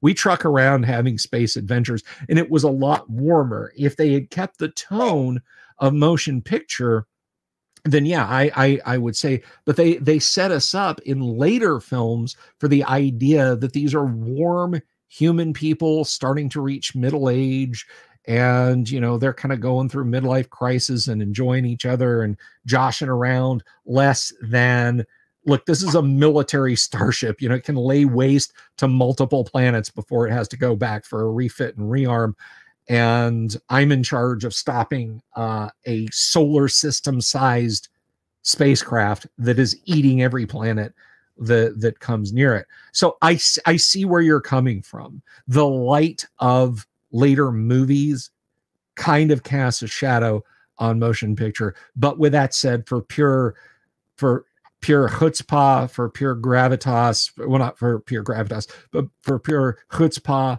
and fun and Horatio Hornblower in Space. Two is is my favorite. I would say that essentially the motion picture is essentially a denouement to the old ways, right? Yeah. And Wrath Khan is essentially the first movie, if you look at it that way. Yes, exactly. Exactly. Part of the issue with motion picture is that it was going to be the second Star Trek series, and then Paramount yanked it around and they wanted a movie because of Star Wars, and it was written for a TV show, and they had to change it, and all this. It was a mess on the production side of everything, and that's why we got what we got essentially. Yeah. Yeah. I, I, I mean, that's, that's, uh, it's it's interesting. We could probably do an entire two hour show just talking about Star Trek New Voyages. Um, but uh, got a show every now and then, just Bill and Jack and Star Trek. I I I, w- I wouldn't hate it. I wouldn't hate it. Um, but uh, uh, Bob, you take that back, or I'll kick and ban you. Bob is saying Wrath of Khan acting was really bad. Uh, I no no we we, No we don't we don't say such things. I'm just kidding you, Bob. I'm not going to kick and ban you. You you say and enjoy what you want. Um, performance. How do you feel? Young. How do you feel? Old. At the end, his soul was the most human. Oh my gosh, Yeah. Totally rocks in that episode. oh, And un- un- Boy, he's good. unquestionably and, and you know scotty and this was i this is a cutting room floor thing guys if you get the deluxe dvd uh watch this scene. Uh the young man that dies in scotty's arms in uh Khan is his nephew. That is Yeah, a direct- blood relation. He's just just so distraught. And james doohan did such a great job and it's it's it's a tragedy that got left on the cutting room floor. I mean it is the, the acting in Khan is is great. Um Undiscovered Country. I used to love that, but after I watched it a few too many times, I was like, oh my gosh, there's no logic here whatsoever. Everything falls apart at every turn, and it, the story just does not hold up for me at all. And that starts with a moon being responsible for the entire Klingon Empire's energy production. It's like, wait, what? A single moon? Really? so un, undiscovered country undiscovered country was was a fine place to to uh to to to wrap it up. I i agree it's got it's got some it, yeah you know the oh this is our singular en- energy produ- production moon and uh i mean the whole thing is basically here's how the ussr fell right? Reactor explosion. Now we have yeah chernobyl. Now we have to come to terms with you guys. And i i, I think um I, I think i think it works for that but no I, I can i can see where it would start to wear but one that holds a special place in my heart and i may draw flack from you and fr- from the audience for this but i'm gonna say it anyway is is um is five. Now yes it's terrible. It, it's it's like spock's brain kind of not good but um i i had a wonderful time seeing it. I went to see it with my dad and my my my dad and i watched it uh uh, we we got like early tickets to go see it from a radio station and we were in there and we were like goofing around with the the DJs we're like throwing out cups and stuff and you know I got I got like a radio station plastic tumbler and I and he was throwing t-shirts to other people and I just stood up and yelled I'm a college student I need clean clothes take this back and I you know I threw it and he caught it and threw me a t-shirt you know and and we had a lot of fun. I had more fun at the event than you know the movie made any damn lick of sense and I remember I remember when when we were on our way out and uh out of the theater and my my pop was like uh well that was about Star Trek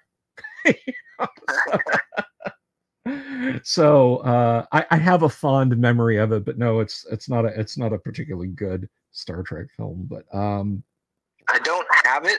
It's the one I've least seen the least. It starts off poorly, doesn't get much better, and then ends badly. However, there are some good moments in there if I remember, like McCoy and his father in that illusion. yeah that that was Yeah. Kirk denying, saying his problems are his own or sins are his own or whatever. yeah I you know I I need my pain it it it it's Right. it ma- it makes me stronger um So there's bits of nice stuff here and there, definitely. the notion of an emotional Vulcan was just like, oh wait, and then he's his brother, and then and then it's God, the center of the game. Well, Yeah. huh? And Slow down.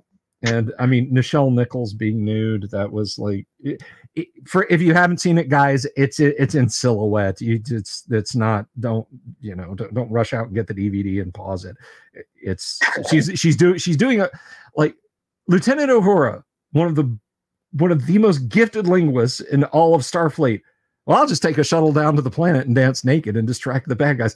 That is a tabletop RPG moment right there where the game master just folds his hands and says, "You're to do what?" I'm going to distract them. You know, they've they're, they're men. They've been prisoners on this planet for for you know a decade, and I'm going to dance naked, and that'll distract them so the rest of the crew can ambush them.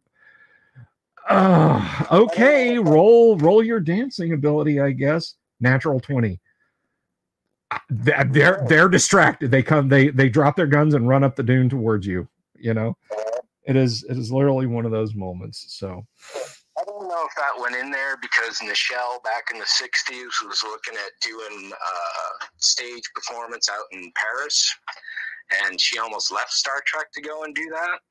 But uh, so that may speak that particular scene. It's so out of place, right? Like you say, it's a total RPG moment. Only a player would think of that. Yeah, yeah. And, But I it's some homage to Nichelle's personal art side of things. She sang, she danced, she did all of these things. She was going to make that her career until she landed Uhura. And then at a dinner with where Martin Luther King Jr. was, Yes. Right? If everyone knows that story, he went up to her, said he was a fan, and it's the only show that his children are allowed to watch. Yep. And he personally convinced Nichelle Nichols. She had re- she gave Gene Roddenberry her walking papers that Friday. She had the dinner Saturday or Sunday, and Monday morning she went in and she said, "Okay, I'm staying." yeah, yeah. and that's I- all to Martin Luther King there, Dr. Martin Luther King Jr. That she stayed and did not go off to Paris for a singing and stage dance career.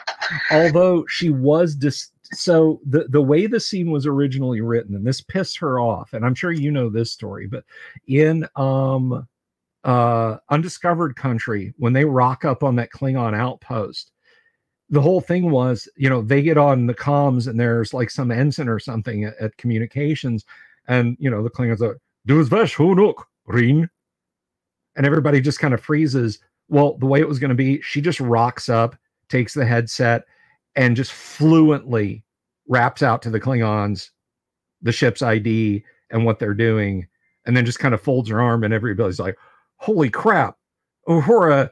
Like fluent Klingon, we didn't know that, and it was going to be this shining moment. But they decided they needed a joke, Oh God, really? so they played it for Joe. When she, when she yanks the when she yanks the uh the commo thing out of her ear and slams it down on the counter, she was pissed off. That was like the best take they got because she like did not want to play the scene that way. And when they got one take and she refused to do it again, she she was like that that that was disgusting. That was an insult to to the way I pictured Uhura. And she was unhappy about that. What a ripoff! Oh my gosh, no, I did not know that story. Definitely, if that's true, that's really that's uh, what a shame because that's such a terrible scene. yeah it's it's it's a horrible scene i mean ima- imagine jack you and i are supposed to be watching a section of road we're highway patrolmen and we're supposed to be watching a section of road for traffic and we get on the cb and we, you know we call a truck that's just kind of slow rolling up the highway and you know say hey uh you know 18 wheeler with the the roadway uh logo on you you know uh uh, identify yourself and we hear a thickly accented russian voice speaking in broken English and hesitating and umming and ahhing. I don't care how drunk you are, or uh, uh, you know how how sugar coated we would be from donuts and coffee. We're not going to be like, "Uh, okay, uh, don't get any bugs. right? And then looking through a book. Really, a book? Where did they get that? It's- yeah, piles of books. Like, let's just forget that Uhura. At the at the very worst, she could have like pulled up a lexicon. Um, so somebody is asking, uh, um, is it, somebody somebody was asking about um, what what do you, what do you think of the new shows? The new shows. I haven't watched any. I don't have any special uh, streaming services or anything. So right, right on, right on. See, yeah. see for. I got Next Generation. I watched bits of Deep Space Nine. I loved the first five minutes of the Voyager pilot, and when they killed that original crew, I was like, Psh, "What did you guys do?" They they had the Kirk Spock McCoy dynamic set up perfect. Yeah. And they go for the fish out of water that they already did with Next Generation and DS9 and every other show to come ever since. And it's like, oh. Yeah. So I just gave up on that at that point.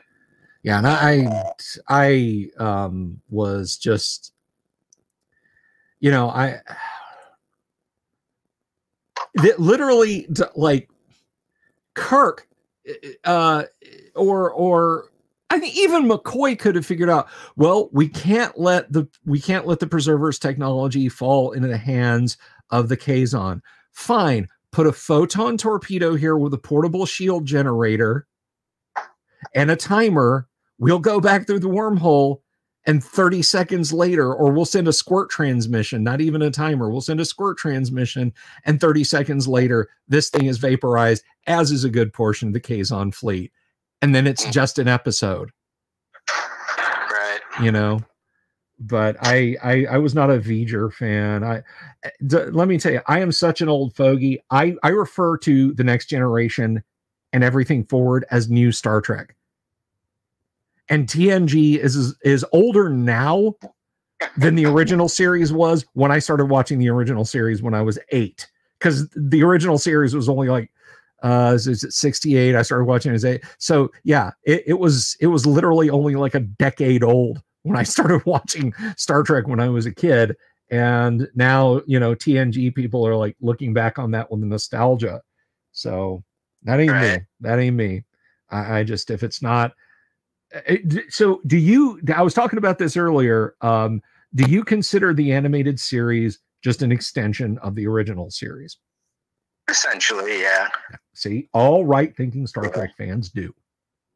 Yeah, I got no problem with that. And part of my recompilation of the FASA system is to go and research all of the animated episodes. I'm going to dig into the Peter Pan records, pull out whatever assets can be pulled from that. I'm going to the Gold Key comics, uh, planets, events, technologies, uh, all that stuff man that is that is that is absolutely amazing. But unfortunately uh, i've got uh 22% battery left. Um no worries man. So uh, so i i, I think we've got to talk a little. That's cool at least. And hopefully for next time.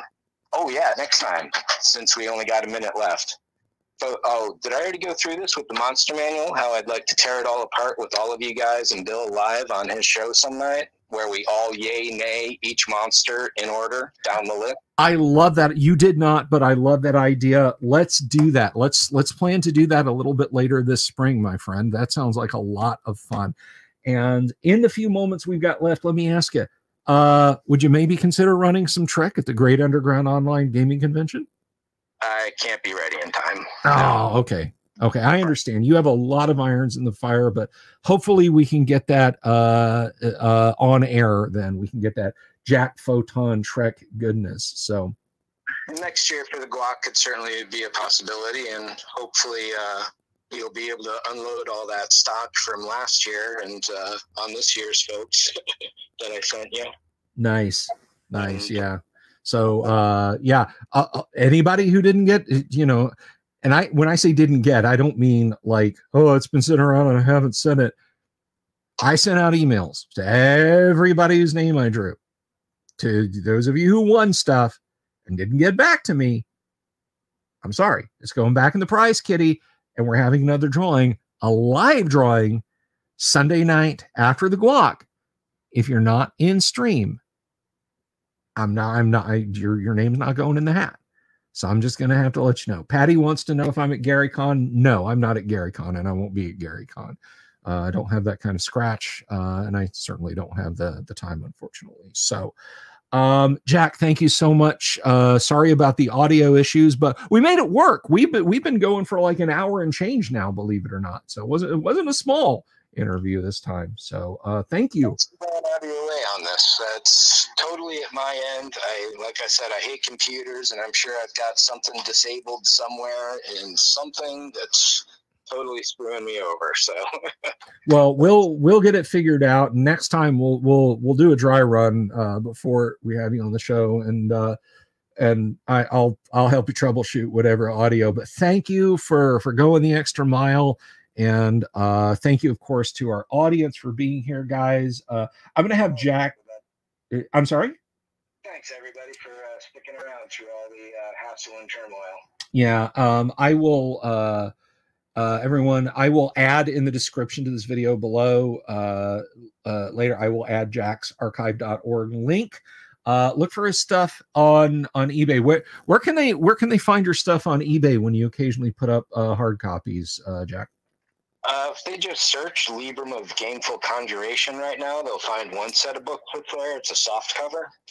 But uh, my 13 by 19 printer has to go in for warranty work, so I'm not going to be able to print up any new covers anytime soon. So that's the last edition for a few months at least, if not the summer. Well, okay, guys. So uh, grab them if you want them on eBay. Um, I'm going to go ahead and let you go, Jack, and we're going to wrap up the show. Thank you for being here, sir. Hey, thanks for calling me, man. Definitely appreciate the uh, extra mile you went, and everybody have a good night out there. All right, peace, my friend. All right, you too, man. Take care. Bye-bye. Bye. So there we go, guys. We made it work. We we we bridged the technology gap, and we made it work this evening. And I'm so glad that we were able to sort that out. I want to thank everybody for being here. I want to sh- uh, uh, thank you, Vaughn, for the super. Thank you, Michael Dale. Uh, and uh, thank you, Volcano God. I really, really appreciate the supers, guys. They literally help keep the lights on around here. Um, so tomorrow night we're going to be playing some Gamma World, and I hope you guys will be here. Uh, for Jim, I'm gonna I'm just gonna disintegrate and mutate them all. For the rest of you guys, for your entertainment. Um, I love you all. I'll see you tomorrow night. And uh, Scotty, beam aboard an owl bear. Peace. Have you seen my owl bear?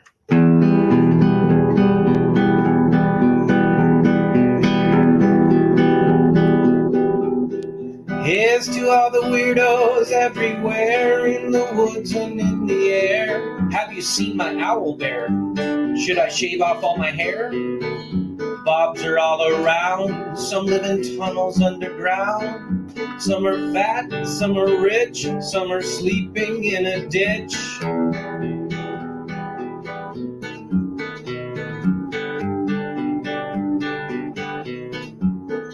Can you ride a crooked horse without a saddle way off course? Naked as a toad, all the way to Smoky Joe's. Have you seen the little creep driving fast in his little green Jeep? He smells like fish and brandy, but his rotten teeth look dandy. Take me to the show. I don't care if fast or slow. From action flicks to dancing dicks, just take me